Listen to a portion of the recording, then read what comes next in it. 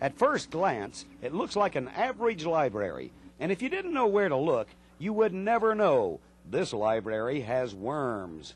The worms live here, and they are welcome in the Town branch of the Carroll County Library.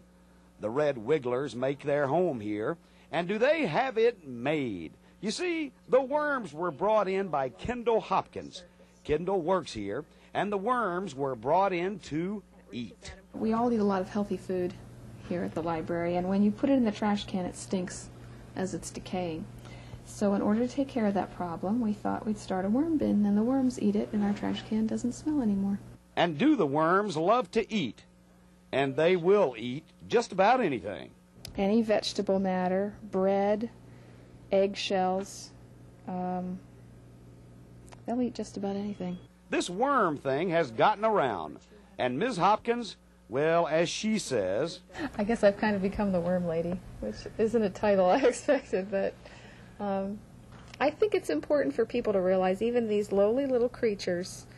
I mean, if it weren't for them, we wouldn't have topsoil. For the rest of the people who work here, well, let's just put it this way. They don't like the worms as much as Miss Hopkins does. What did you think at first when Ms. Hop- Ms. Hopkins says we're going to bring some worms in the library? I thought that was very interesting. Interesting. You're being nice, aren't you? yes.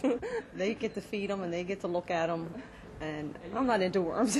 And the worms have generated a lot of interest. One man came up to the county, wanted to pay his fines and buy bait. And if you're four years old like Freddie, what a library!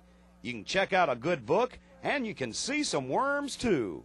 When you're four years old like Freddie, this is a perfect library. Rob Roblin, WBAL 11 News, on the road. Cool. Aren't they cool? They eat all our trash for us. They eat our. There's one that's active.